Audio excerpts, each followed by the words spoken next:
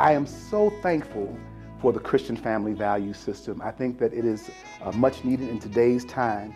And the Christian family value system is divinely designed, cosmically created by God to prepare future generations to evangelize the world. It's so important in this day and time that we take on the responsibilities of sharing our faith testimony with the next generation. The first pillar in the Christian family value system is foundation. It all starts in the home. Psalm 127 says, Except the Lord build the house, they labor in vain that build it. That means that God needs to be the architect of the home. God needs to be in charge of homeland security. The foundation is everything. It all starts in the home. You got number one.